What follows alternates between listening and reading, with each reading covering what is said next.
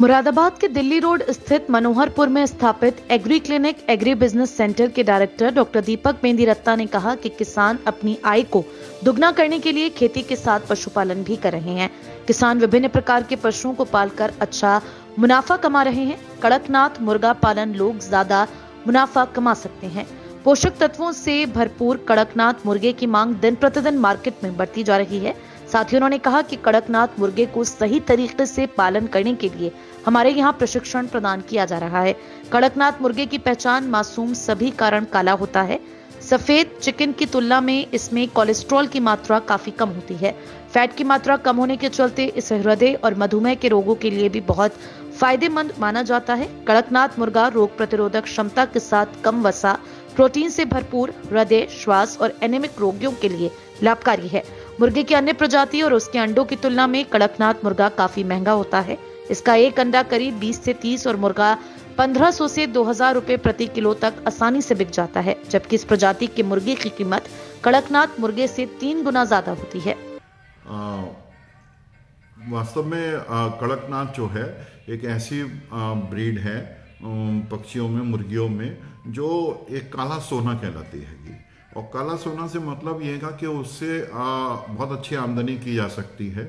और ये इसमें प्रोटीन रिच होता है, इसका अंडा जो होता है। और प्रोटीन की मात्रा उसके अंदर बहुत ज़्यादा होती है और फैट की मात्रा बहुत कम होती है अन्य मुर्गियों की अपेक्षा जो अंडे होते हैं और जो इसका मांस होता है और खून, वो दोनों काला होता है। और काफ़ी हार्ड ब्रीड होती है, इसको बीमारी बहुत मुश्किल से लगती है ना के बराबर बीमारी होती है। इसलिए इसको किसी तरीके की कोई दवाई भी नहीं दी जाती है और किसी बीमारी से अभी तक जब हम पाल रहे हैं जब से, हमने इसको किसी बीमारी से कोई एक भी पक्षी को मरते हुए नहीं देखा है तो ये जो है एक ऐसी ब्रीड है जिसको हम बिना दवा के पाल सकते हैं। और जहाँ तक इसके भोजन का सवाल है तो ये भोजन भी ऐसी चीज़ों पे करता है मान लिया बरसीन भी है इनको, जो हम अपनी गायों को खिलाते हैं, वो ही हम इनको दे देते हैं, मटर के छिलके हैं, वो ये खा लेते हैं। तो इस तरीके से जो भी एक मक्का के भुंटे आते हैं तो भुंटे के भुंटे हम इनको दे देते हैं तो ये वो खाते रहते हैं। तो इस तरीके से ये ऐसी चीज़ें खा लेते हैं, जिसके अंदर प्रोटीन होती है और इनको ऐसा ज़रूरी नहीं है कि कोई ऐसा दूसरा आहार दिया जाए। जहाँ तक कि इनके पालने की बात है एक मुर्गी जो होती है कड़कनाथ जो मुर्गी है, ये एक साल के अंदर 100 से लेकर के 120 तक अंडे देती है। और बाज़ार में आजकल सर्दियों में तो इसकी बहुत ज़्यादा डिमांड हो जाती है। गर्मियों में भी डिमांड रहती है। अंडे खाने वाले जो लोग हैं, वो वर्ष, पूरा वर्ष भर अंडे खाते हैं। और उसके अलावा बहुत सारे और हमारे केक बनते हैं या कुछ और ऐसी जो चीज़ें हैं जिनके अंदर ये इस्तेमाल होते हैं तो उसके बाद में आपका क्या नाम है, हम जो देते हैं मुर्गी साढ़े चार से पाँच महीने में अंडा देना स्टार्ट कर देती है।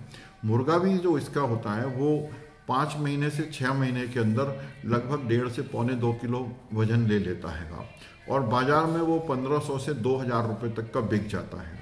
अगर हम ये देखें कि जो हम दूसरी ब्रीड मुर्गियों की पालते हैं, उसके तुलना में इसके अंदर जो है काफ़ी अच्छा मार्जिन आता है। अगर कोई भी व्यक्ति मान लिया 500 मुर्गियों से इसको शुरुआत कर लेता है, अगर वो 500 लेयर पालता है जो अंडा देने वाली मुर्गियाँ हैं, और दूसरा मुर्गा जो फार्मी मुर्गा जो खाते हैं, जो 45 दिन में 40 से 45 दिन में तैयार हो जाता है, लेकिन उसको रोज़ाना एंटीबायोटिक देनी पड़ती है।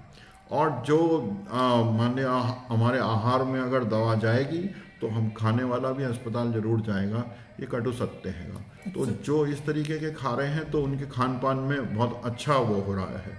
जी। अच्छा डॉक्टर साहब ये भी जानना चाहते हैं कि करीब अप्रोक्सीमेट संख्या की बात करें तो करीब कितने लोग होंगे जो इस तरीके से चूचे ले जाकर अपना काम रोज़गार स्थापित कर चुके हैं?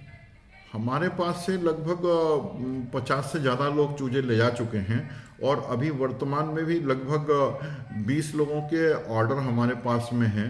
इस समय एक्चुअली क्या हो रहा है कि जितना भी अंडा उत्पादित हो रहा है, वो रोज़ के रोज़ बिक जा रहा है। तो हम लोग उसको हैचरी में नहीं रख पा रहे हैं और जैसे ही अंडे की बिक्री थोड़ी कम होती है तो हम हैच करने लगते हैं उसको। और जब वो हैच हो जाते हैं तो ही हम लोगों को उसके चूजे प्रोवाइड कर पाते हैं। तो मुझे लगता है कि इस क्षेत्र में अगर युवा घुसते हैं तो अच्छी एक आमदनी स्थापित कर सकते हैं, नौकरी की अपेक्षा उनको एक अच्छा लाभ अर्जित कर सकते हैं।